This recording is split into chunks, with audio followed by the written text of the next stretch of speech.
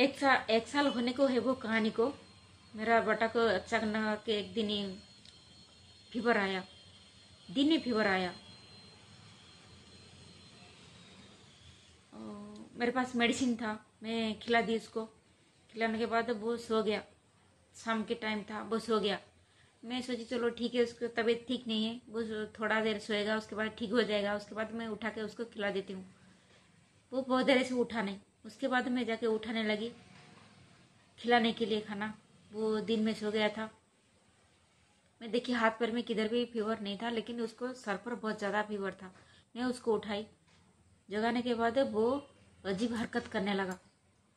हवा में कुछ कुछ कर रहा था। क्या कर रहा था? मेरे नाक ऐसे पकड़ रहा था? बाल को क्या क्या कर रहा था? कुछ कुछ बोल रहा था। क्यों बोल रहा था? समझ में नहीं आ रहा था। लेकिन वो क्या क्या बोल रहा था? फुल क्लियर सुनाई दे रहा था। उसका मतलब क्या है? क्यों बोल रहा है? कौन सा बात किधर आके मतलब लगा के बोल रहा है? वो क्यों बोल रहा है? वो समझ में नहीं आ रहा था। वो हंस रहा था ज़ोर ज़ोर से। वो ऐसे रो रहा था। मैं चिल्लाने लगी। मेरी बहन दूसरे रूम में थी। मैं बोले, दौड़ के आ जाओ मेरे बेटा को, कुछ हो गया। वो दो बच्चा को गिरा के रो रो के उधर से आ गए क्या हुआ? क्या हुआ मेरे बच्चे को? क्या हुआ? रो रो के आ गए वो। आके देखा तो मेरा बच्चा ऐसे अजीब हरकत कर रहा है। बच्चे नींद में कभी कभार करते हैं, एक दो मिनट पाँच मिनट तक करते हैं मतलब नींद पूरी नहीं होता है, या तो तबीयत खराब रहता है। बच्चे ऐसे करते हैं, लेकिन वो घंटों भर ऐसे कर रहा था, अजीब कर रहा था, अजीब हरकत मैं समझा नहीं पाऊँगी आप लोग को। वो मैं पूछे थे, बोलो मैं कौन हूँ? वो बोले तुम तुम हो। बोलो ना, मैं कौन हूँ? मैं तुम्हारा कौन हूँ? मैं, मुझे तुम क्या बुलाओगे? बोले, माँ।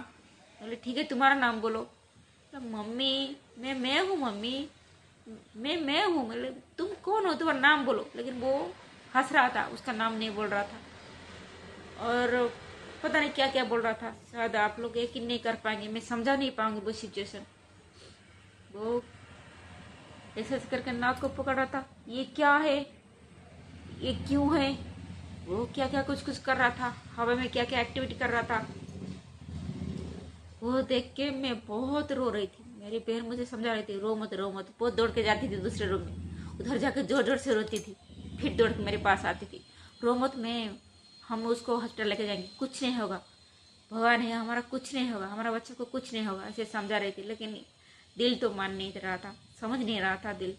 दिमाग भी समझ नहीं रहा था मतलब पता नहीं क्या हो जाएगा। अभी अभी मतलब सर पर ज़्यादा बुखार है उसको। हम पानी डाल रहे थे ऐसे जैसे आँखों से उसके पानी आ रहा था। लेकिन वो हंस रहा था। कुछ उसको असर नहीं हो रहा था। रात का वक्त था। ठंड लग रहा था उस टाइम में। लेकिन उसको कोई असर नहीं हो रहा था। उसको मारो, पीटो, इसको कैसे करो? उसको कोई रिएक्शन नहीं आ रहा था। वो उसकी काम में मतलब बिज़ी था। वो क्या क्या कर रहा था पता नहीं। जब मैं रोती थी, वो ऐसे ऐसे देखता था मेरे आँखों के सामने से ऐसे कैसे करता था। ये क्या है? ऐसे क्यों है? ऐसे पूछता था। कभी कभी रोता था। कभी कभी हंसता था ऐसे देख के। और मैं कैसे समझा आप लोग को? फिर हम मेरी बहन गाड़ी वाले को फ़ोन किया, गाड़ी आया। हम उसको हॉस्पिटल लेके गए। भगवान से मन्नत मांग के हम गए घर से निकल के। मेरे बच्चा को कभी कैसे भी करके मेरे बच्चा को ठीक कर दो। चाहे इसके बदले सारे दुनिया रूट जाए, सारे बंधन टूट जाए, चाहे मेरी मौत आ जाए, लेकिन मुझे किसी भी कीमत पर मुझे मेरे बच्चा सही सलामत चाहिए। हम घर से निकल के गए। हॉस्पिटल तक मेरा बच्चा मतलब साइलेंट था। मैं ऐसे बीच बीच में देख रही थी, मेरा बच्चा ज़िंदा है या नहीं? वो साइलेंट हो गया था। कैसे भी करके हम हॉस्पिटल में पहुँच गए। उसके बाद डॉक्टर थे। बहुत सडन से हमारा बच्चा का मतलब ट्रीटमेंट स्टार्ट किया। उसके बाद हमारा बच्चा बात करने लगा, देखने लगा। हमारे हस्बैंड फ़ोन किए, हम वीडियो कॉल करके दिखाए बेटा को। वो फिर मेरे हस्बैंड ने बुलाए उसको। ओ हूँ हाँ ऐसे किया। तब थोड़ा मतलब उसको सेंस आ गया था वो जान रहा था। फिर बात थोड़ा थोड़ा कर रहा था। उसके बाद वो मेरा बेटा ठीक हो गया। मैं तो चाहे कितने बड़े दुश्मन हो, मैं तो नहीं चाहूँगी भगवान ऐसे दिन किसी को दिखाए। वो सबके लिए बहुत सोचेंगे, सब लोग बोलेंगे मतलब मामूली से आप बुखार है। लेकिन वो जो सिचुएशन था वो कैसे हालत से वो गुजरा कैसे हालत से हम लोग गुजरे, वो मैं एक्सप्लेन नहीं कर सकती। वो ऐसे दिन कभी ज़िंदगी में ना आए, मैं तो ऐसे मतलब एक्सपेक्टेशन नहीं करूँगी, ऐसे दिन ज़िंदगी में कभी दोबारा आए।